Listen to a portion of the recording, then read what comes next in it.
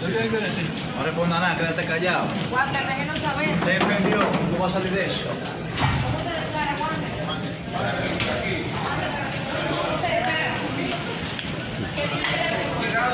le van a dar a la chica de la cosa.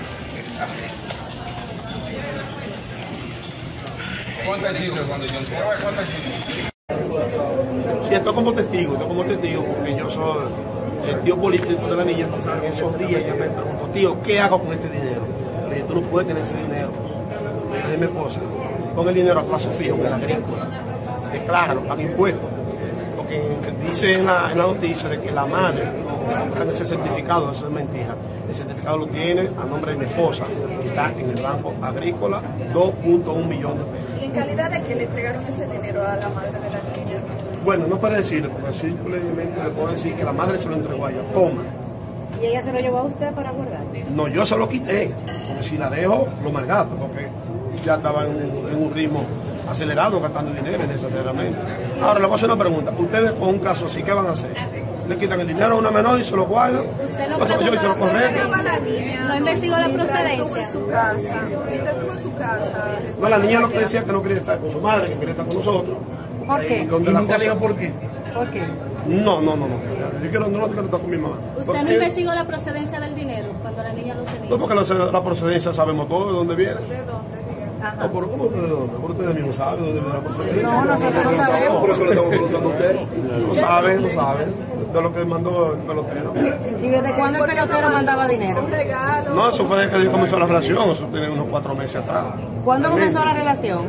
¿Qué, qué No, la relación no de te puedo decir porque yo estaba poco aislado de eso, porque yo soy acercado a la familia, pero no que soy familia de sangre de ella. Pero realmente sí, le puedo dar la información de que el dinero, la niña lo tenía y yo fui, le dije, tú no puedes tener ese dinero, no puedes tenerlo.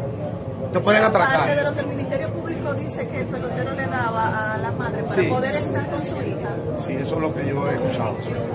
Sí. ¿Cómo se encuentra la niña emocionalmente? No, ya se encuentra ahora mismo, pues ve que la madre está detenida, se encuentra un poquito eh, afligida y triste. Pero ellos fueron allá al negocio mío ayer a preguntar por la niña, pero yo no sé nada para ahí. ¿Y a quién, fue que dio la voz de alerta? ¿Quién fue que comenzó con todo este proceso legal? El proceso, por eso eso viene cuando ya ustedes saben que la niña tenía una reacción y la mamá era que le pedía dinero al pelotero, pero que eso lo dicen todas las noticias. ¿Y es verdad? ¿Usted tiene la certeza de que la mamá le pedía dinero?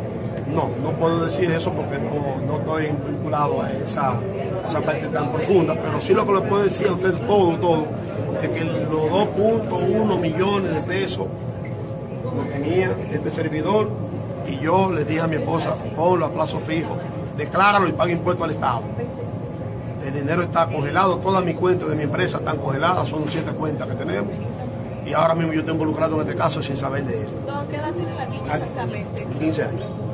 ¿A qué usted se dedica, sus empresas? ¿A qué usted se dedica? Tengo una fábrica de puertas y ventanas, hago cocinas modulares en aluminio. ¿Cuándo cumple los 15, don? No, no, no le sé decirlo, cuando cumple los 15. ¿Y desde cuándo estaba con el pelotero? ¿Hace cuánto tiempo? No, no, no, no puedo decirlo. No, porque que realmente no le puedo dar esa información porque ya esas son cosas, intimidades de ellos. Yo sí lo puedo decir que la niña estaba en mi casa durmiendo ese día, durmió allá cuando nos allanaron a las 2 y 5 de la madrugada. A esa misma hora llenaron a mamá, a esa misma hora llenaron a mi suegra, pero la niña estaba en mi casa. Yo le entregué, ellos requisaron. ¿A quién se le entregó dónde está ella? se le entregamos a Conani. No, no se le está ella. Ella estaba en casa acogida. Pero Conani fue que se fue a buscarla allá a mi casa. Y en ese la momento cuando ella le pide, cuando usted le quita el dinero, ¿ella seguía viendo con la, con la madre o estaba con otra persona? No, no, porque ahí mismo, ahí, con el allanamiento, eh, Conani la, la sustrajo y se la llevó. Yo lo que no quería que ella malgastara el dinero. ¿Entiendes? Ahora, pónganse ustedes un niño de 15 años con 2 millones y pico de pesos en dólares. La pueden atracar, un bar- la pueden malgastar. Dos millones de dólares. 2.5 millones de pesos en dólares. Pesos, pesos, pero en dólares. ¿Cuál es el repetir su parentesco con ella, con la niña? ¿Su parentesco con la niña? ¿Cuál es? Porque ustedes dijo 2.3. 2.3, le entregaron, le entregaron, le entregaron. 2.3. En el transcurso se fueron gastando de lo que ya. Tío, dame tanto, tío, dame tanto. Y entonces quedaron 2.1 2.1 cuando y eso fue lo que yo puse a plazo fijo. ¿No me entiende? Porque pónganse en, en mi lugar, señores, pónganse en mi lugar. Usted con una sobrina, con un caso así, que tenga un dinero, un dinero, Usted no va a permitir que lo malgaste o que la vaya y la trate. Yo hice lo correcto, ¿o no? No, ¿cómo te califica esta joven? Cuénteme, estudiosa, bien portada. A la niña. No.